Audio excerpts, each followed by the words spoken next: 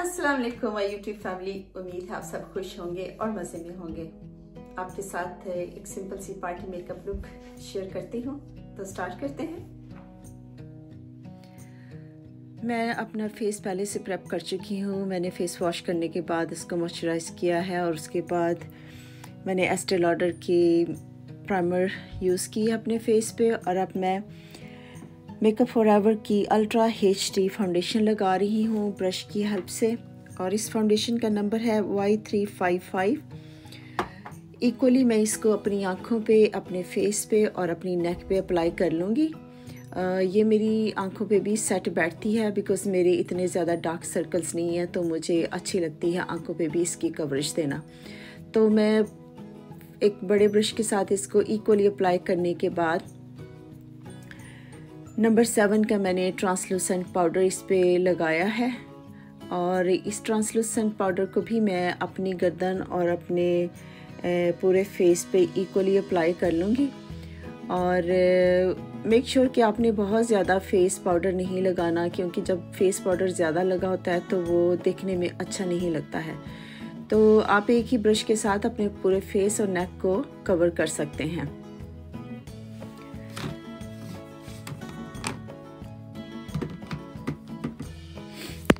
अपनी आईब्रोज को मैंने फिल कर लिया है मेबिलिन के आईलाइनर से। जेल आईलाइनर से मैंने अपनी आईब्रोज को फिल किया है और अब मैं बैका के पैलेट से एक हाइलाइटर चूज़ करके तो उसको अपनी ब्रो बोन्स पे हाईलाइट कर रही हूँ और उसको मैंने अपनी उंगली की मदद से ब्लेंड कर लिया है।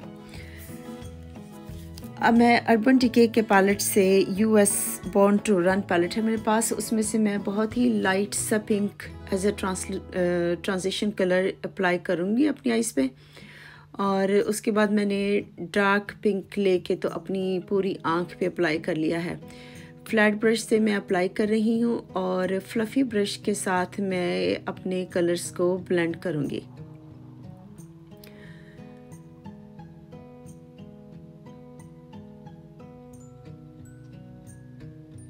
मेक श्योर sure कि सारी जो क्रीजेस हैं, आपकी वो फिल हो जाएँ और आप इसको अच्छी तरीके से ब्लेंड कर लें और कोई भी लाइन ना बचे।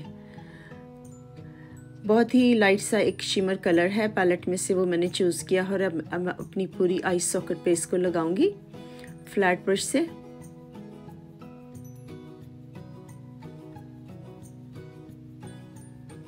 क्योंकि ये पार्टी मेकअप है तो थोड़ा सा शिमर अच्छा लगता है तो मैंने आई अपनी आई सॉकेट पे और अपने लाइक इनर साइड पे ग्लिटर लगाया है।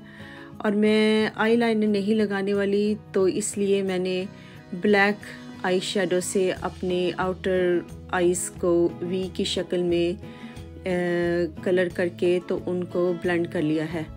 साइड पे थोड़ा सा पाउडर इधर उधर जो आई शेडो आपको नज़र आए आप किसी भी स्पॉन्ज से थोड़ी सी फाउंडेशन लगा के तो उसको क्लीन कर सकते हैं। अपनी लोअर आइज़ को भी मैंने डार्क पिंक से पहले लाइन अप किया है उसके बाद मैंने उसके ऊपर ब्लैक कलर अप्लाई किया है ताकि मेरी आँख की जो लुक है वो बड़ी लगे। और उसके बाद मैंने रिमल की जो जेट ब्लैक पेंसिल है उसके साथ अपनी आइज़ को आ, इनर साइड से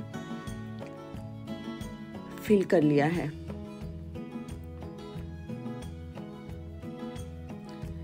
ब्लैक मस्कारा मैं अपनी अपर लैशेस पे और लोअर लैशेस पे अप्लाई कर लूँगी इक्वली जब भी आप अपर लैशेस पे मस्कारा लगाएँ तो उसके बाद आप अपनी लोअर लैशेस पे भी इसको अप्लाई करें। इससे आपकी आँख की लुक बहुत अच्छी लगती है और आँखें भी बड़ी नज़र आती हैं और आपकी लैशेस भी बहुत थिक और बड़ी नज़र आती हैं।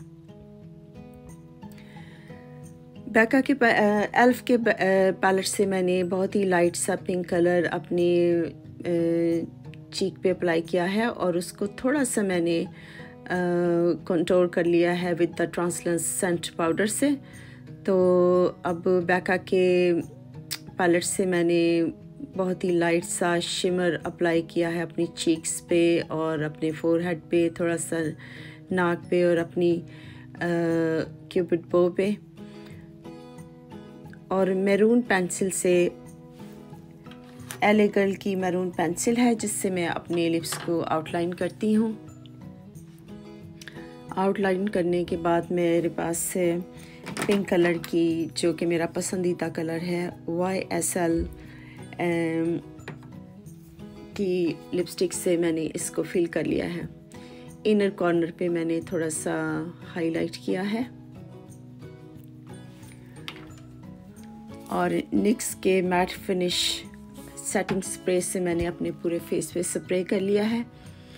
और अब आप देख सकते हैं कि ये फाइनल लुक है। आप इस लुक को इजीली अप्लाई कर सकते हैं किसी भी वेडिंग में या किसी नाइट पार्टी में, किसी भी फ़ंक्शन में इजीली इसको अप्लाई कर सकते हैं। कोई भी मुश्किल बात नहीं है। ये पाकिस्तानी या इंडियन ड्रेसेस के साथ बहुत अच्छा मेकअप है। और इसकी क्रिएशन जैसा कि आप देख सकते हैं कि मुश्किल नहीं है। उम्मीद है कि आपको ये वीडियो पसंद आई होगी और अगर पसंद आई है तो प्लीज़ इसको शेयर और लाइक ज़रूर कीजिएगा। और अपनी दुआ में याद रखिएगा और इन मिलेंगे नेक्स्ट वीडियो में।